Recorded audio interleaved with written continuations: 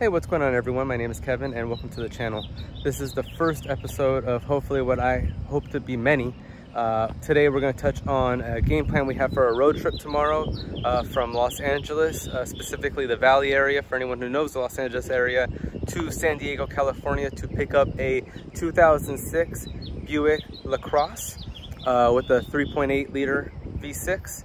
Um, I'm looking forward to it. It's, it's actually something I'm buying to uh, start the channel. So a little background on that. I, I owned a Buick. I bought the Buick uh, that I had before. It was a 2000 uh, LeSabre Limited, uh, again with the same engine, the, the 3.8 liter. And uh, I bought it because as I watched videos on YouTube, I kind of found uh, a lot of information out on it. Specifically, the Car Wizard put some information out there. And then you had Hoovie who bought a Buick, pretty much everyone. Auto Auctions Rebuilds.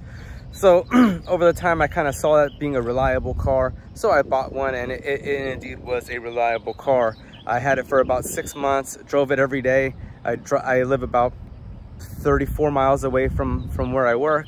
Uh, and I used it as a daily commuter until I sold it.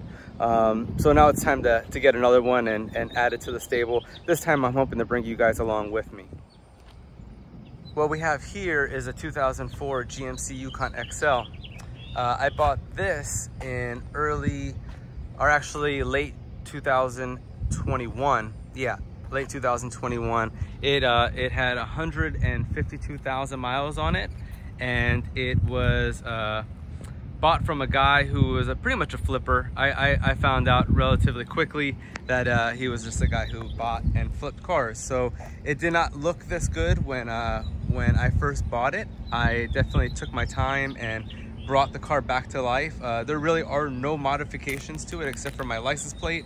And uh, as you can see, the dual exhaust, uh, I, I, do have Flowmasters on it. And, uh, and I did that just to, to add some sound to it. I do think it also wakes the engine up a little bit. Uh, the, you know, the great, great engines, right? I think all of us know that. Probably, probably the last great uh, GM large SUV that was ever made. well, I say that as I'm thinking about the brand new Escalade, but that's definitely not uh, in the same category of this conversation. So with that being said, this one was purchased late 2021. Uh, it had faded paint all throughout the hood, the, the, the roof of the vehicle, side panels. Uh, so that was that was all corrected. I, I, got a really good deal on the car. Of course, the guy said it was a, a perfect running driver. It wasn't. So So anyways, I was able to negotiate a good deal. I got the, the car for, or the, the SUV for $3,200 out the door and uh, put about $800 in uh, paint work on the car. So that was great. It, the car definitely woke up after that. The engine actually wasn't bad. Uh, the engine's great, actually. Uh, you know, the engine itself. I did a tune-up to it. Uh, the air conditioning wasn't working. Uh, ended up being a, a very small uh, switch, control switch, which I can't remember the name of it right now, but anyone who owns this, these cars knows exactly what I'm referring to. Um, so I replaced that and that came back to life. I do live in the valley of Los Angeles, so it does get quite hot out here. So that was done and, uh, and tinted the windows and four new tires. Obviously i wanted reliability so we did get the four new tires. Nothing fancy. I think i went to you know a, a, a you know affordable tire spot and uh, got these um forest land. Forest land who knows what those are right? But they actually have been really good tires. And i already put about 12,000 miles on this car.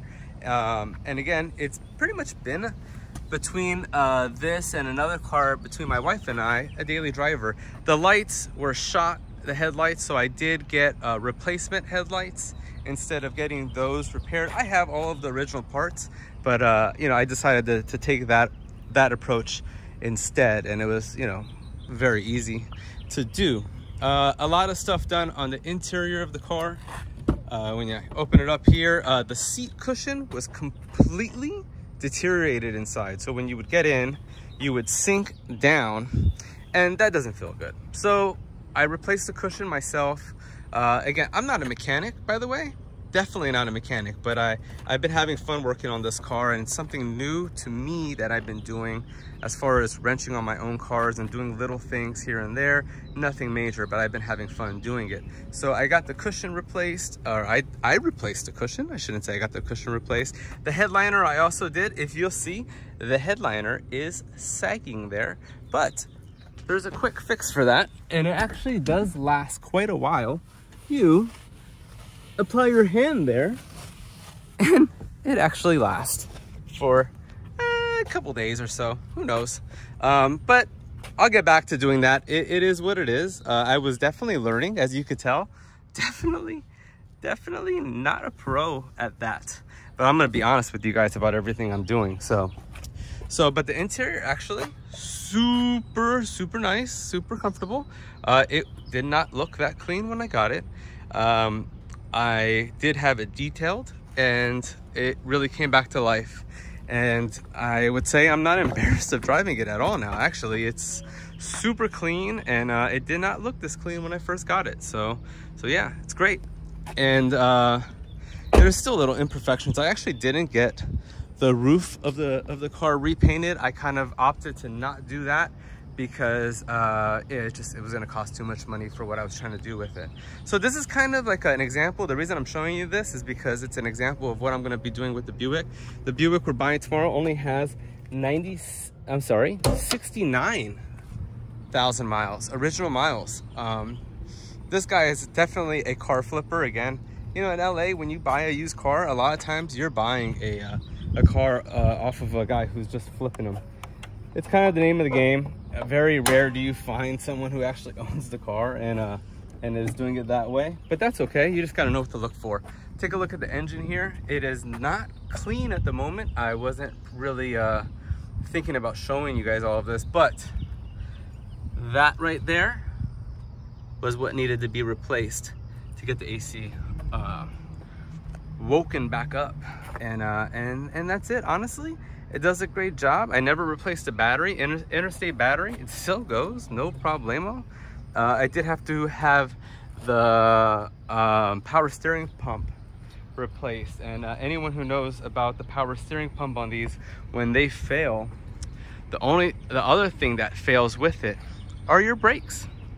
They stop working. So I, uh, I had my car moved at work and I was called and notified that something was broken and it was my power steering pump. So I had to get it towed and get that dealt with. So, so that's that guys. I am going to pick the money up from the bank right now um, and I will pop in with you guys right before I uh, go ahead and put the phone down for the rest of the night and then we're gonna see each other in the morning. We are um, commuting, as I mentioned, from Los Angeles to San Diego.